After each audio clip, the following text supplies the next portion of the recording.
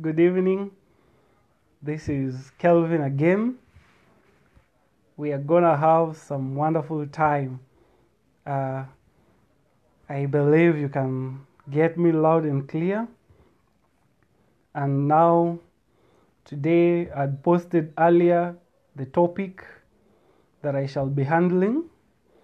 Uh, I like you, but I'm still in contact with my ex. I want to thank the God Code generation for this opportunity. Asanteni sana. I believe together as we tune in, as we listen in. So, yeah, I was just doing some mic check one, two, and I believe I'm audible and uh, we're going to have an awesome time. So, it will be roughly 20 minutes or so. We are going to be together, brief to the point, but I believe it. So, this is a really interesting topic that uh, most people, I'm sure, struggle with. That someone likes you or you like someone, but you're still in communication, you're still in contact uh, with your ex. So, I first two points that I'm gonna look at that causes people to be in contact with their ex. After those two points, I will again finalize with the last two points of us focusing on this new guy that you like or this new lady that you like. Uh, something that is gonna help us so that we are not in contact with the past. I believe in the Bible says that we should not, a dog does not go back to its vomit. So, first off, the number one reason why many people are still in contact uh, with their ex, my number one reason, I want to explain it unresolved promises. Unresolved people got promises when they were dating someone, when they were together with someone. They were given so many promises. Maybe you are the one who was the giver. You are the one who gave a lot of promises, or you are the one who was given a lot of promises. When the relationship breaks, or rather when your union ends, the two of you, most people often feel dissatisfied. They feel cheated. Like, so was that a waste of time? All those plans we had. Uh, you told me you wanted three kids. You said you wanted two kids. I told you I wanted four. Some something of the sort. All that just gone with the wind. So people are in denial. Like, how can it be that we made all those plans? We made all those promises, and then you're just going to end them like that. So, most of the time, people are in contact with their ex without even knowing it. And the reason is because there's unresolved promises. The person feels like, so what happened to the way you told me that you're going to take me to school? Some people even promised the other person that they're going to take them to school. A lot of promises were actually made. Unresolved promises. And uh, unresolved promises, it is not only the problem. So many people have unresolved hurts. Hurt. Somebody hurt you. And you just can't let it go like that. You feel like they need to understand the pain they brought in your life. You feel like, hey, how what is and evil? Okay, so you just keep contacting them. You actually think it is just a communication, but the truth is you really have unresolved heart and you'd wish you'd wish to lash it out on someone. And so that is number one reason uh, why many people are still in contact uh, with their exes. Unresolved promises. Uh, the second reason the second reason why people still get in contact with their exes. I'm just uh, forming the basis here is entertained advances. Entertained advances. When you entertain the advances of your ex, when you entertain the advances of someone who used to be together with you, you know they'll keep doing it because you've encouraged it. They try it once, they see that you are not strict about it, you did not uh, angry that they texted you or even called you. What will happen? They'll continue doing that. You'll have entertained advances, bringing in more SMSs, more phone calls, because you actually entertained the person. Okay? So make sure that someone new, if you are actually uh, with someone that you've met that is new, make sure you're not entertaining advances from a previous party. Okay? Make sure you're not entertaining those advances. Just make sure you have locked that door. You are focusing on the new relationship because the moment you entertain the advances, the person is going to interpret it like something that you're interested to go on and on. So make sure you don't entertain uh, those advances. Many people often ask me, but then how do I move on? Because you keep seeing this person, you go to their social media handles, you are still stalking them, you are trailing them, you want to know how they are faring on, right? I've written here in one of my notes that the best revenge is always moving on. That's the best revenge. The best revenge is always moving on. Uh, don't be stuck. Don't be stuck there. Make sure you move on. The best revenge is always moving on. And uh, I've also written here if you're not going to talk about that person, uh, God forbid, but if today and to be on your deathbed, ask yourself, would you talk about that person? Would you would you want that person to be called? Will they be in your close circle of the people you'd want to see before? If that person is not somebody you would talk about them in your deathbed, don't give them a priority. Don't give them a priority. So remember, as I've said, number one, when you have unresolved promises, because you feel cheated, right? You want them to meet that promise of the babies that you're gonna have. Number two, entertain the advances. When you entertain those, when you entertain your ex uh, texting you, telling you you look good, I saw you in that pic today that you posted, you are actually entertaining those advances. They'll keep doing it and they'll keep sending more. So stop entertaining. Just let the person know I'm in a new relationship right now. I'm focusing on it.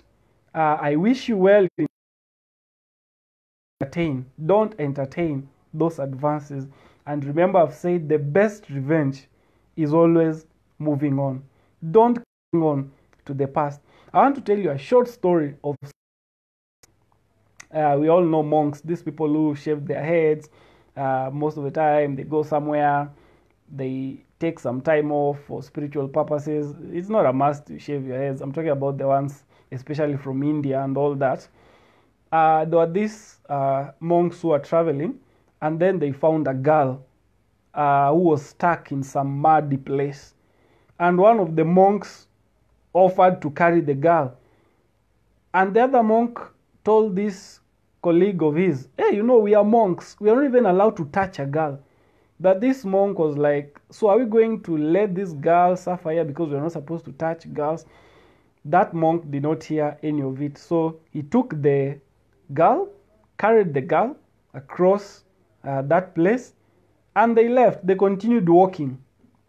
And four hours later, this monk uh, turned to the other monk that had carried the girl and he told the monk, You know, you are not supposed to have carried that girl. And this monk simply answered and said, I carried her and I put her down four hours ago, but you're still carrying her in your head. Isn't that how most of us are in life? You are still carrying someone in your head. You see, this monk had carried this girl across and he put her down. Well, After he finished his assignment, he helped the girl and he forgot about it. and he put her down. But his colleague kept pondering on that matter. You know, we are monks, we are not supposed to carry girls. Human beings, we beat ourselves down over things that have already happened. We have no power to change them, but we are still crying over spilt milk. Hear me. If you've been carrying someone in your head, maybe it's time, like this monk, can you stop and in your heart? Put them down. That season ended. And I want to give you a new definition of forgiveness today. I know we've been hearing so much about forgiveness. Today I want to give you a new definition of forgiveness. I've written here forgiveness is accepting the fact that it happened. Okay? Forgiveness is accepting the fact that it happened and that you can't make it any different. It happened. You can't make it any different. You can't change it. You just have to accept that fact that it happened. Don't try to live in the past and wish it hadn't happened like that. Well, it happened. So we have to deal with it now that it happened. I'm not saying it is fair, but it actually happened. So that is forgiveness, accepting the fact that it happened and there's nothing much you can do about it right now. The best you can do about it is to release. And I've also written blame is easier than taking responsibility. When you're blaming someone, it's way easier than to just say, I'm the one who was selfish, than to say, I'm the one who missed it. So I've told you the reason why people still communicate with their exes, and you can see I'm giving you stories on why some people still do so. It is because they don't accept the fact that it happened and that there's nothing much different they can do about it. And then you remember that story of that uh, monk. Stop carrying people. Once you cross them the other side, put them down and don't carry them in your head, don't carry them in your heart.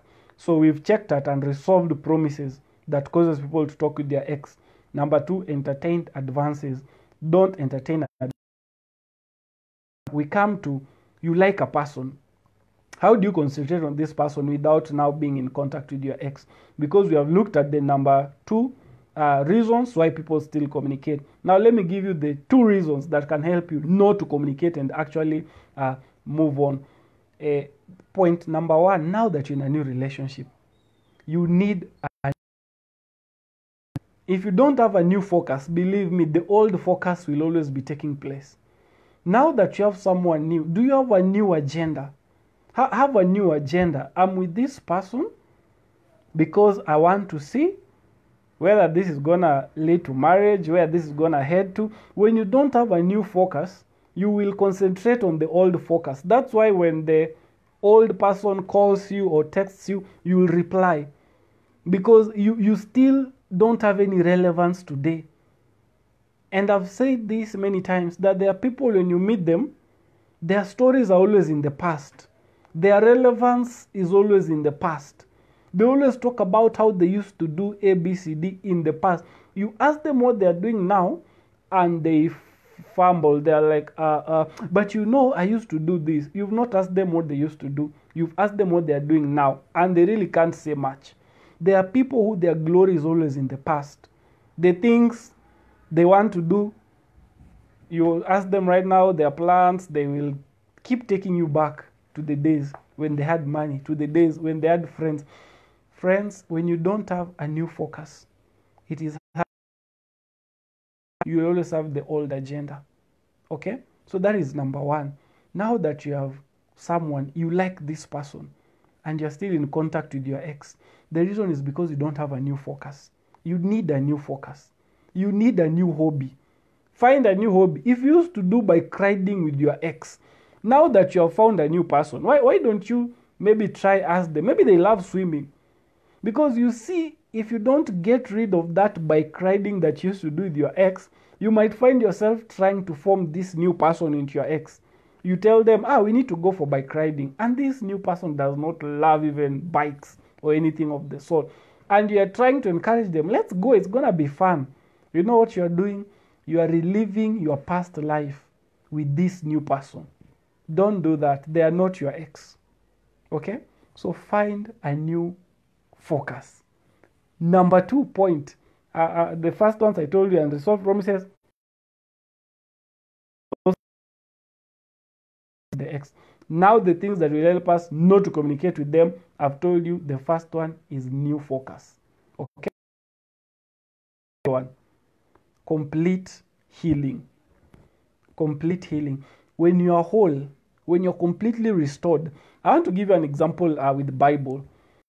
Uh, the story of uh, Jesus and the ten lepers. We remember we are told that when they were healed, only one came back to say thank you. Only one. The ten lepers were healed, but only one came to say thank you. When that one came back to say thank you, Jesus told him, Why there are not uh, nine of these? Where, where are the rest? These people, only one has come to say thank you. And Jesus told him, Go. You have been made whole. Now, I want to explain that thing. You see, leprosy uh, is a disease that used to eat the fingers, it eats the toes, so it actually eats your body parts and they fall off. So these people probably had hands. The hands looked funny. It, it looked like something. The, their hands look like this. There's no finger. This part you can imagine. The hand looks like the part had been eaten off. But when this one came, the others who were healed were only healed, but their bodies remained like that. Their hands were still that hanging and all that. When Jesus said, But as for you, you've been made whole, it means even the broken parts, the parts that had fallen off. That is the difference with this one leper who came back. There are so many people who are not whole. Like this leper was told, Now you are whole. So many people are not whole. Okay? But we need to understand that this one was made whole. Can you make sure that you are whole in your new relationship? I've said new focus, number one, trait. And number two, complete healing. You can't love unless you are completely healed and you love yourself. You will think you're loving people your best. The other person feels like they're constantly being attacked. Why? Because you are punishing them for a healing that you even started this. Can we ensure thing or with someone new? Make sure you have complete healing. Let, let, let not your past bleed into not bleed. As I've said, the best revenge is always moving on. Move on. Don't live in the past of that person. And I've said blame is easier than taking responsibility. Don't blame. And I've given you the definition of forgiveness. So, have you accepted the fact that it happened and that there's nothing much you can do about it? There's no much different uh, thing you can do about it. It happened, accept it. That is the forgiveness I'm talking about. And so, as I'm even concluding, we remember those two points. Uh, let me finish by saying this. Many times, when you're getting into a new relationship, when you're introducing someone new into your life, they have a lot of hopes. They are looking up to you in a very passionate way.